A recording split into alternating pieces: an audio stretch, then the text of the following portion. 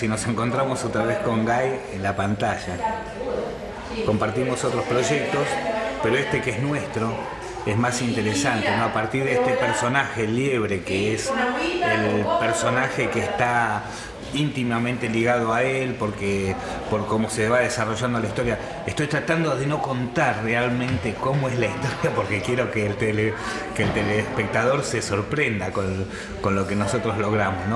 Es una cosa muy rica porque nosotros somos muy amigos, compartimos muchas cosas en lo personal, las dos familias, la familia de él, mi familia, y ahora compartimos pantalla y ayer era muy notable cuando estábamos trabajando y comenzando a darle forma a estos personajes.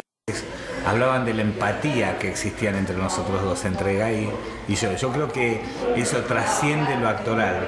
Yo en mi personaje, que es este grandulón que puede llegar a hacer cosas terribles, pero es adorable.